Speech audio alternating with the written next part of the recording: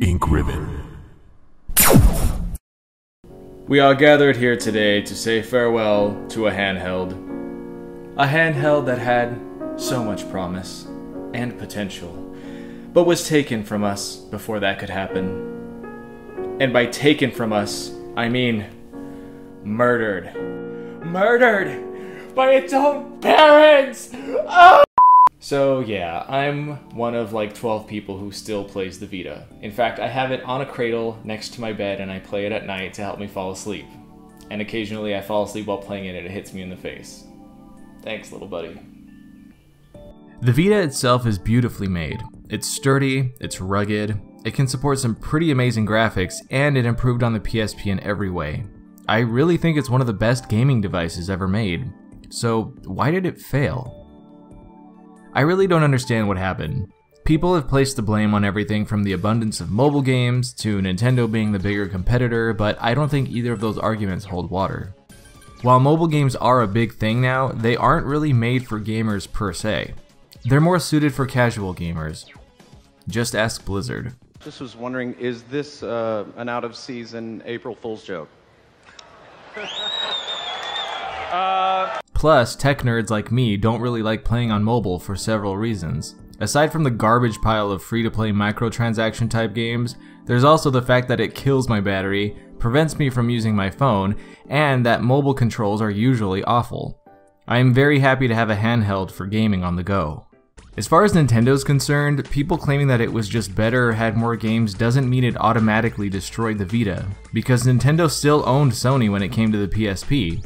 They definitely had different demographics, and maybe one had something over the other, but they were different enough to offer mass appeal to different audiences. But the Vita and the PSP have one big difference, and that is first party support. And I don't mean games, because we all know first party games to promote a new system are always mediocre.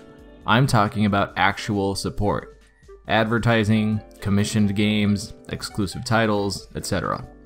At first, it seemed like Sony was trying, but almost immediately it went to half heartedly supporting the Vita to just not even caring about it.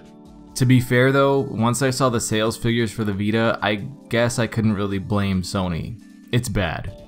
Like, it's really bad. So, to give you an idea of how bad, the 3DS sold about 75 million units. The Vita sold about 10 million. And then you have the game sales. If you take all the top 10 selling Vita games and combine their entire revenue together, it comes out to about the same as what Uncharted 4 made for the PS4. So, like I said, I can't really blame Sony. If something isn't making money, there's only so much you can do. But there is a silver lining. If you're like me, you check on the PlayStation Store every now and then and see that there is a steady flow of new indie games constantly.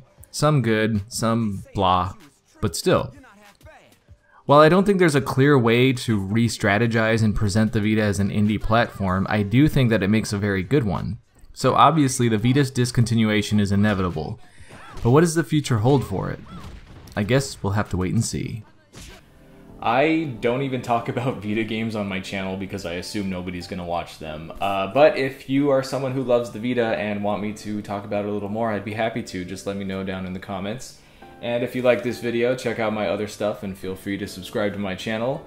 And don't forget to check out the community tab where you can vote on future videos. I'm Kai Morgan, and as always, thanks for watching Ink Ribbon.